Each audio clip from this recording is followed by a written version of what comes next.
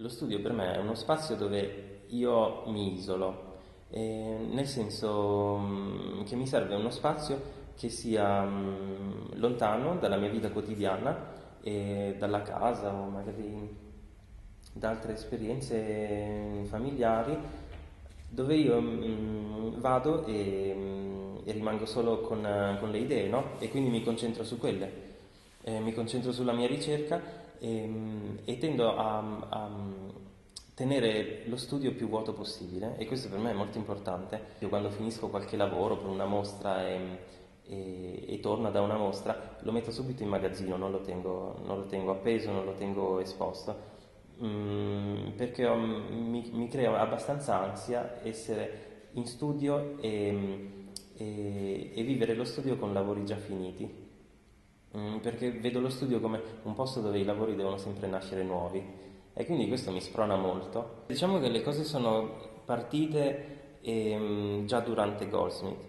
e ehm, non ho mai perso i contatti con l'Italia e, e, anzi devo dire che la scelta di andare a studiare all'estero era comunque indirizzata um, al fatto che poi avrei, sarei voluto tornare insomma, in Italia, e, quello assolutamente. E, quindi ho mantenuto i contatti, c'era questo progetto importante della mostra in quadriennale, invitato da, da Domenico 40 e, e, quindi insomma lasciare Londra non è stato così traumatico perché mi sono ripresentato in Italia e dove tra l'altro non avevo praticamente fatto mostre rilevanti prima di andare a Londra perché avevo appena iniziato a lavorare come artista e quindi presentarsi a Roma in quel contesto ha aiutato, ha sicuramente aiutato dal punto di vista ehm, della ricezione del mio lavoro mh, da parte del pubblico e della critica in generale, se vuoi chiamarla così, no?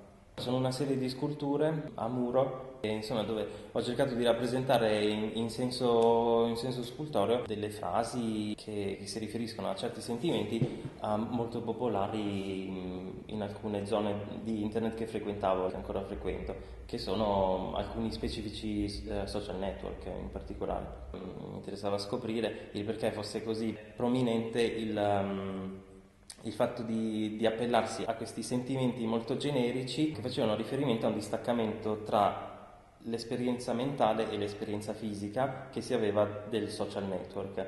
Per esempio molte frasi sottolineano il fatto di um, non essere in contatto con i propri sentimenti oppure di aver abbandonato la sfera emozionale ed averla quasi dimenticata, insomma.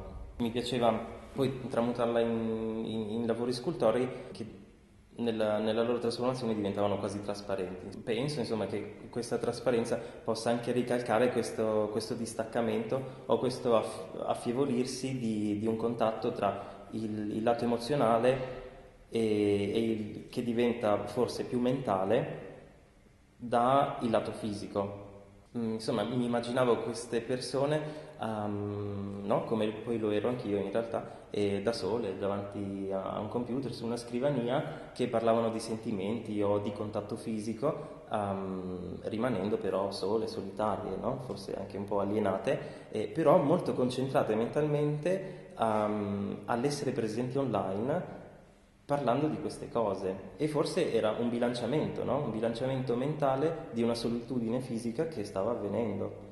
E la ricerca su internet nasce da, mm, da un'esperienza personale, eh, perché credo, eh, credo, sia molto comune um, per i ragazzi della mia generazione riconoscersi in, questi, in questa esperienza, trovarsi sui social network e vedere um, delle immagini, dei, dei meme che, che insomma sottolineino questa cosa, il fatto che ci sia questo distacco um, tra esperienza fisica e mentale, no? tutti molto iperattivi e molto attenti online, ma tutti poi molto alienati e solitari fisicamente.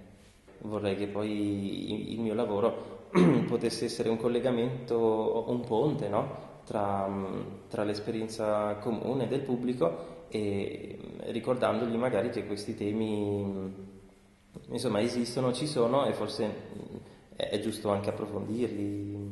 Mi nutro essenzialmente di ricerca, di ricerca mia personale, di, di temi che mi interessano e dipendono totalmente da, dalla sfera se vogliamo, sociale, cioè di come io intendo, da come io leggo la società contemporanea nella quale io sono inserito, vedo che ci sono, insomma, constato che ci sono dei temi rilevanti oppure che hanno più rilevanza nella mia vita mm, personale e quindi prendo quella strada e li ricerco e poi cerco di tradurli in arte perché credo che sia necessario porre l'attenzione su determinati mm, argomenti. No? Poi tutto questo eh, che ho detto ovviamente passa attraverso il filtro della mia esperienza personale di persona insomma si nutre mm, principalmente di esperienze mediate via internet, perché tutta la ricerca, molta parte della ricerca deriva da lì. Ho anche dei libri no, che poi finisco a leggere, sono comunque trovati attraverso collegamenti che io ho con altre persone, che però coltivo um, online. No?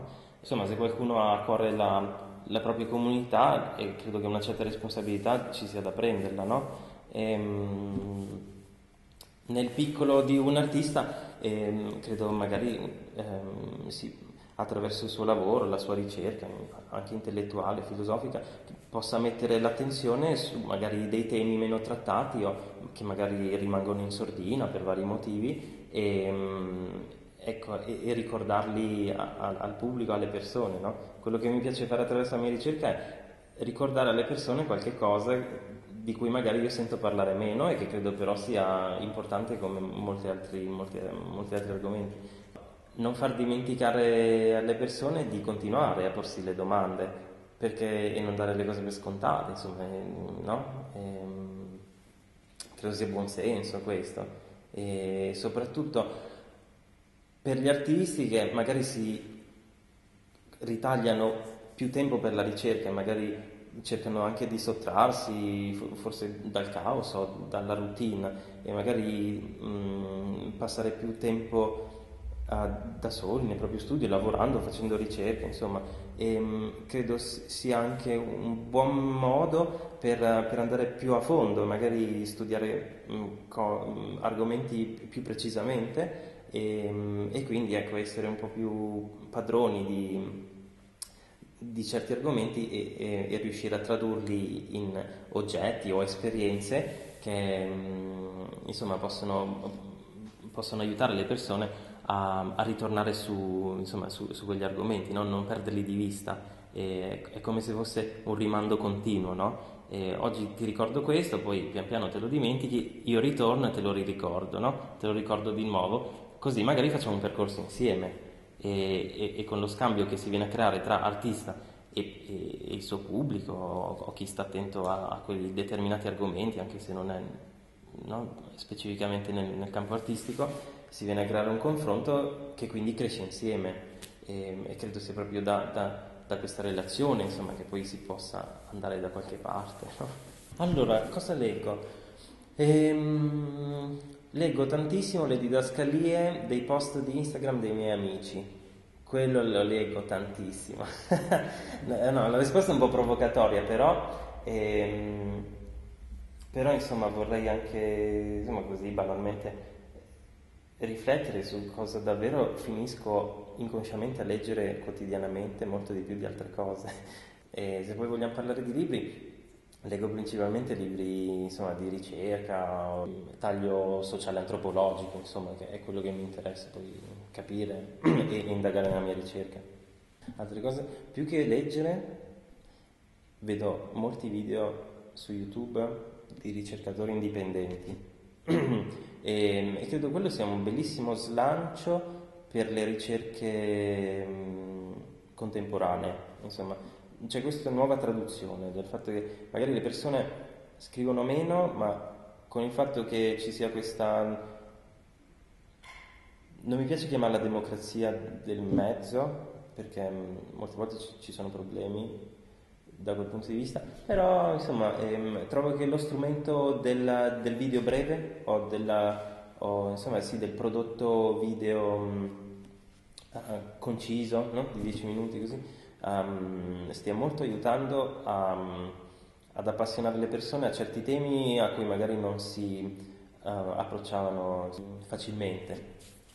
Ecco, quello sì, quello, sono un grandissimo appassionato di alcuni canali YouTube che seguo molto spesso.